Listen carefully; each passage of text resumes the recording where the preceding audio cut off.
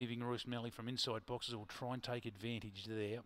Hard taskmaster Sparky's chance. You just feel they're going to need a little bit of a, a bit of luck early to get into this one. And Lockin's capable in the six. It's a good race, but I think happy to, enough to have take no chances on top. 210 short enough with Aeroplane Rose, who's going to storm late here with a clear run in the eighth. Green light on. Lure in motion. Favourite in seven. Take no chances. Set racing. I'm not leaving. Got a flyer. Goes out early with locking, but take no chances on the scene.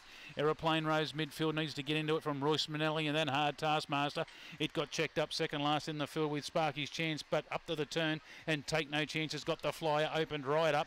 I'm not leaving. Holding down second. Aeroplane Rose late, but take no chances. Wins it well. Tight the minor. Aeroplane Rose. I'm not leaving. And then a further photo to lock in in four spot on the outside then of Royce Manelli. Hard Taskmaster.